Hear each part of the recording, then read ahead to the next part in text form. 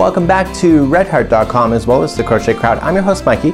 Today's tutorial we're going to work on a double take pillow. This is a really interesting pillow because it's actually the corner to corner technique. So what you're seeing in this pillow, let me just briefly describe it, is that you have four panels right in the front. So you have one, two, three, and four, and they are just whip stitched together right in the center to create the illusion of the diamond shape. On the back, you can either repeat the same pattern of creating the four and sewing them together, or you can just make one solid panel just like so. This kind of idea allows you to make a reversible pillow. So this side, you can have this color, but then you can do four more of a different color, just turn it over so that you have basically a reversible pillow for your home. So join me right now as I show you how to make one of these double take pillows. Free pattern is available on redheart.com. There's a link in the more information of this video and let's take you down to the studio and get started right now. For today's tutorial we're going to need four blocks that look like this and they're amazing. They actually come together to form the shape in the center of the pillow and then on the reverse I kinda cheated and I did one major block instead of doing four. But you can uh, make that creativity up to you. You can even do the pillows in one solid block and I'll show you what I mean in just a moment. So essentially every one of these squares are equaling nine blocks. So what does that mean? So when I pull apart the project you'll notice that there's kind of a blocking and basically these are the double crochets on their side and then they're uh, here and then here. And if you pull them apart they look like blocks. So you have one, two, three, four, five, six, seven, eight, and nine. And because this is a square that no matter how I turn it there will always be nine. So one, two, three, four, five, six, seven, eight, and nine. So if you're doing the back panel and you want to cheat the system what you have to do is that there's gonna be one sitting beside each each other so there'd be a four in the front. So essentially if you have nine on one and nine on the other that the big block on the back will have a total of 18 of these blocks going all the way across and that's how you would do it if you want to cheat the system. So without further ado I'm gonna take you on getting this started. There's a free pattern and the more information to be able to follow along if you prefer. This is how you do it. You're gonna start off with the very center. So this little square here or this section here is the very center of the pillow. The next block will come in side by side just like so. I haven't actually trimmed off my ends but this is how it will look and essentially we want to create four of these and these are all identical to each other so it doesn't matter how you do it. If you want them to be non-identical you just have to change your yarn in order to suit. You can choose any colors you wish. I'm kinda going with my theme this year and this is how we're gonna get started. So we're gonna start off with doing the very center first. So in actual fact we're gonna start off like this. So let's begin our first block. We're going to start off with the slip knot just like so and creep it a little bit longer so you can use it and we're gonna be using a size E three and a half millimeter. The pattern calls for 3.75 a size F. I know that my stitch tension is a little bit looser than normal people so then I want to compensate and I'm using just a slightly smaller hook. To begin this project we need to remember this doesn't count as one so we need to count up to three. So one, two, three and then add another three. So it's a total of six. One, two, and three. The reason why I'm having you do that counting it separately like that from three to three is that it makes a difference when you're going to work on it if you're thinking about this more strategically. So going from the fourth from the hook so we count back one, two, three, four and we want to double crochet ourselves into the fourth like so and do the next two chains with a double crochet as well. And this is the very bottom of your corner for your particular um, center piece of your pillow. So this is what it looks like at this moment. So here's where we are. This is how you turn it and so you're you have it just like so. So now you're just gonna flip it like this and now we're going to chain up three. So this is my strategic way of doing it. So I go one, two, three, okay and right where you've got that third one right underneath you pinch and then go one two and three. The reason why I'm having you pinch there because that's your starting chain. So you don't need to always count back to the fourth and then you double crochet that chain plus the two other ones before you run back into that bottom block. Okay, so I'm referring to all these sections as they work together as blocks and you'll see how that makes sense in just a moment. So you'll have a total of what appears to be three double crochets plus your chain. So now what we need to do is that we need to turn this block, it's not turned properly, turn it up so that we're looking at the wrong side and this should be straight down. So if this block was um, sitting on top as a diamond this should be the very bottom. Okay, so if it's turned like this and it's out to the side it's not gonna work.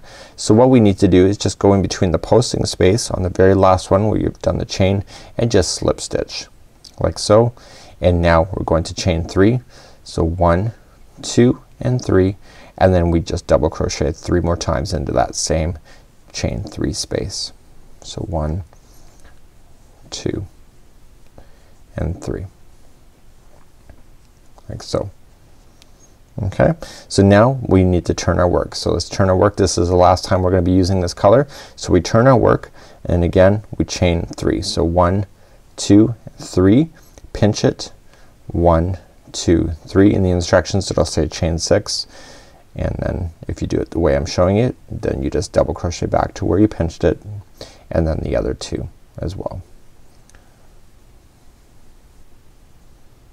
So it's a very easy stitch. It's a very very popular stitch.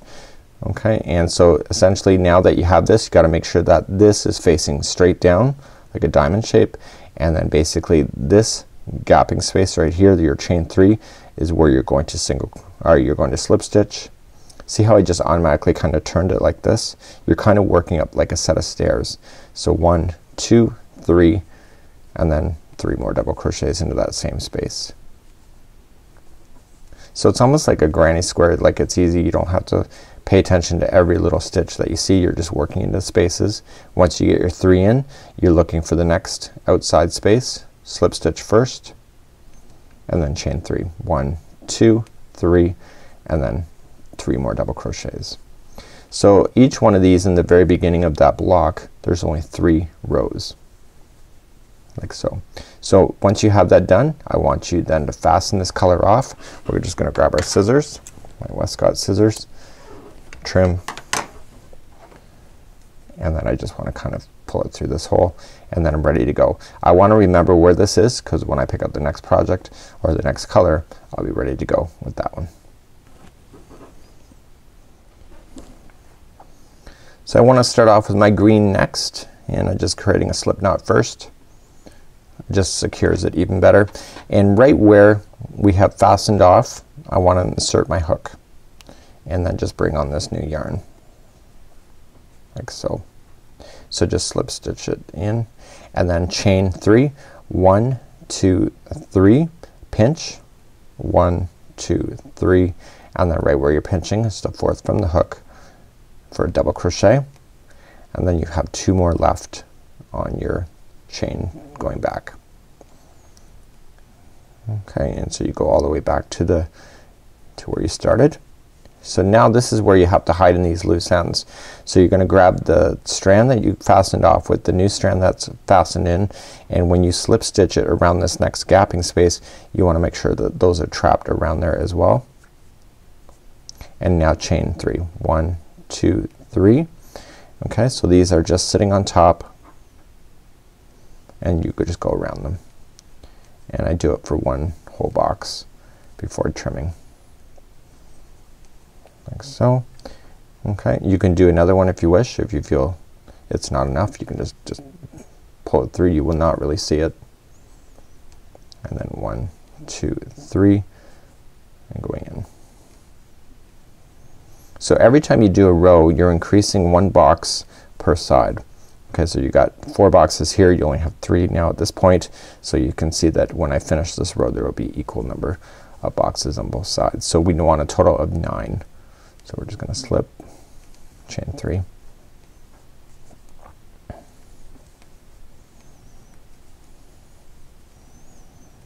Okay, so you want to continue the same principle with the green and uh, I'm gonna let you do the next two by themselves. So let's just review again. So you're just gonna turn, chain three, one, two, three, pinch, one, two, three, and then right where you're pinching is the double crochet. And continue to do that all the way and I'm gonna just join you back up. We're gonna do three rows of green. So this is one, two, and three. When I come back I'll start you off with the next color which I believe is brown or a sand color. So I've now just finished the green and I wanna grab up my sandy color and just kinda go in and make a slip knot and I wanna insert my hook into the last where I stopped the green where I fastened off and then I simply just want to do my chaining of three again. So basically one, three, and then one, two, three. Right where I pinched is my first double crochet and then the other two.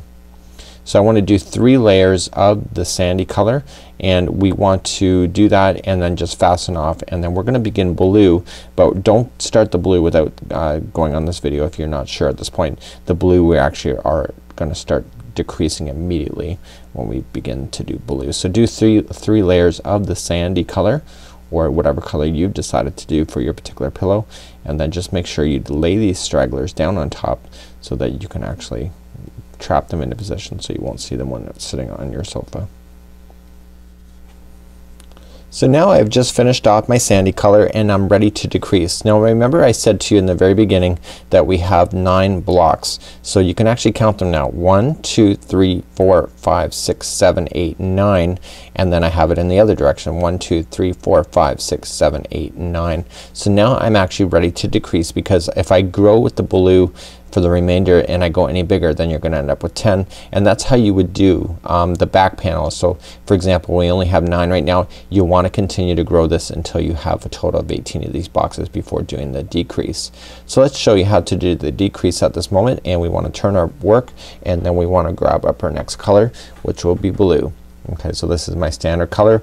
I create a slip knot as we have been before and right where I fastened off the blue okay or the sandy color. I want to just kinda lay that on top and I want to insert it. So you look here you got the first post second and third.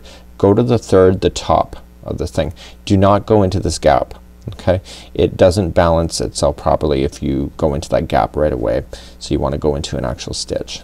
So let's just uh, slip stitch this on okay? And we want to chain three. So one two three. We're no longer doing the six okay the three and three like I showed you and essentially now I want you to turn the project like this now leave these down on top okay and this is a covering over the first post like so and we want to double crochet ourselves three times into that same post. So you're already doing this work.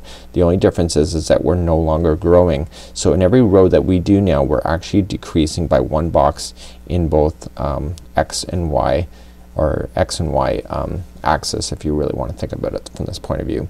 So continuing along just put these stragglers down on top go into the next section that you would have normally gone into if you were growing.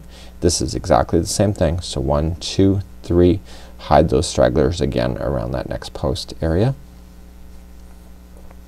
and continue along but you're not gonna go all the way to the the very last box and grow it like you have been essentially you want to stop one box early so continue to go across and I'll meet you back before we actually finish off this row. So we're coming all the way back to the end just like so. So you can see where I am. So essentially I don't want to keep growing. So I'm on top of this box. I want to be staying right beside it. So we're gonna chain three, one, two, and three, and we just want to finish this final box right here. So we don't want to get any bigger so that we don't increase the one size. If you want to do a rectangular idea then you would continue to go along even though you've stopped growing on this side. That's the way to do it. So once you get that done just slip stitch around and then that's it. Okay, so you don't want to go any further so you're now creating a flat edge this side. Simply turn the work and you have now three posts that are there. Insert the hook and just slip stitch until you get to the third post or get to the third stitch like so. And now you're ready to chain three. So one, two, and three. Again along this side post here is that you'll do three double crochets. And this is how you would actually decrease if you're going to do it. And I need you to keep doing this back and forth, continuing to decrease by one block on either side and then just starting each row just the way I just showed you and this will take you in doing a full square. When we come back I'm going to start showing you how to assemble your pillow. You just make sure you do four of these and if you wanna do eight of them you can do reversible pillow in many ways but you'll notice that most pillows have a good side and a back side that pretty well is never faced. So it's up to you on how you wanna finish your pillow at this particular point.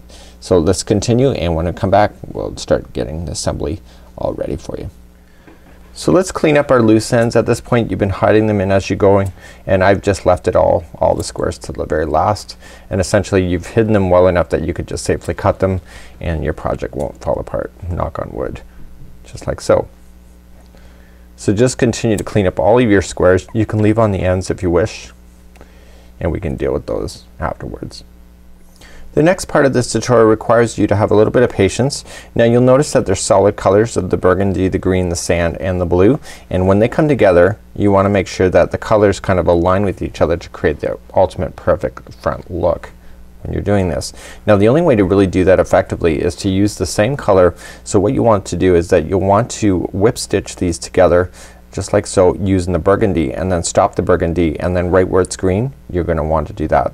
So I'm gonna show you just the whip stitching of just the one color here and then I'll leave the rest for you. And essentially these four panels right in the front need to come together with uh, an ultimate precision before we start on with the back to sew everything final with the pillow form inside. So let's begin the whip stitching. I'm gonna start off with a slip knot and just leave it open on the one side and the other side I already have into a darning needle. Okay, so we want to commit to one side that is our working project. So this side is going to be like this side up is gonna be my inside of my pillow. So I'm good I'm just going to grab the yarn in one side of the burgundy okay and then the other side of the burgundy and when I pull through I'm gonna run into that slip knot that I started off with insert the needle through that loop and pull tight get the straggler that's leaving on top and just continue to whip stitch only the burgundy into position. Okay, and this will create a little bit of a ridge on the underside of the pillow but of course you will not see that because the good side will be there. Now this is the corner to corner so both sides of this particular panel will be a good side uh, because you have gone back and forth and so basically it doesn't really matter on which sides are facing up. You just want to be more concerned about the pattern actually gelling and actually making a lot of sense. When you get to the end here okay what I would do is grab the other two panels because you're running out of stitches here. Grab the other two panels. Okay and just continuing to use the burgundy. Okay just go through the one here and through the other. Just like so. So you kind of do want to pay attention a bit to how it's looking and making sure it makes a lot of sense when you go to do it. Like so.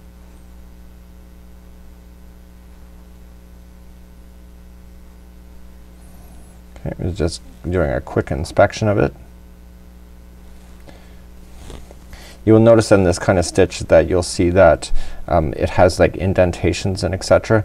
You just want to make sure the indentations are matching each other when they go together. So I guess that's the only thing you really do need to pay attention about. So either side is the good side but the indentations are very specific uh, depending on which order that you're putting them into. So we're just continuing to slip stitch into the burgundy only and then when I get to the end of the burgundy I'm just gonna just fasten this off and I'm just matching the stitches as closely as I can. So only into the burgundy if you go into any other color then it will show and then once you get to the end like this you simply just weave it in a few of the fibers and go back and forth three times. One, two, and three and simply now once I get this done I want to start off with the next layer. So let's just cut that first. So I want to turn my project. And so I have it sewn together in the vertical now just in the burgundy creating another slip knot here and starting in the burgundy on the outside. Continue just into the burgundy itself on both sides. Pulling through pull put the needle through the slip knot like so and just continuing to match them up and go all the way across and then fasten this off on the other side and do the same for the green and the sandy on all four panels. So here is my panel all sewn together. This is the bad side and this is the good side here. You can see it looks really good. I'm really happy with it. All the blocks meet. There are now a total of 18 blocks along here. So basically I can either do another set like this and do a completely different or I can make another box that is completely one piece just like this and it has 18 along one side 18 along the other. So what I'm going to do is I'm gonna put all the stragglers on the inside of this particular form and I'm just going to not grab the pillow form at this time. I, I need to get three sides in before you can even start worrying about that. So what I wanna do is that I wanna grab a piece of the yarn that matches. The only place it's not gonna match is the brown here and that's not gonna be a, a deal breaker for me. So let's put these in the inside and essentially all I'm just going to do is that you can decide to either sew these together or you can speed up the process and crochet them. You're good at crocheting, why not? So what I want to do is that I want to match all of the stitches up together with each other. And by crocheting around like this you can also just add more fringing to it afterward because then you'll have some stitch work. So I'm going in one side and going in the other. Okay, and I'm just going to do single crochet. So I'm just gonna slip stitch first. I'm gonna chain one then single crochet into the same one and then in the corners what I wanna do is single crochet chain two single crochet when I'm turning corners but now I just wanna match everything up and just keep everything kind of pinned together and making sure that these stragglers stay on the inside. So please do that all the way around and so I'm gonna come back and I'm gonna just have the pillow form inside as I close it right in front of your eyes. So I've now crocheted around three sides of it and you can see it here. This is the good side just like so. So it's really nice and thick now and now I'm ready to slide it in my pillow form just right into there. So when I come back I'll have that slid in and then I'm just gonna crochet along this and then call this project done for today. Okay, I now have my pillow inside and essentially all I just want to do is just kind of squeeze together the ends and just double or just single continue to single crochet myself all the way across. So continuing just to match up the sides to the sides and just continuing to do it's easier to do it on my lap so I'm gonna just uh, finish this up on my lap and you can see that it actually turned out really good so far. So when I come back I'll have that done and then we can do a conclusion for this video today. So that's it for today. This is how my pillow turned out. I'm really excited about it. It looks great for my home decor that I have going on for Christmas 2014. Going for the woodsy theme this year and I went for colors that are more traditional associated to the holiday season versus doing red and white. Until next time I'm Mikey on behalf of redheart.com as well as the Crochet Crowd. We'll see you.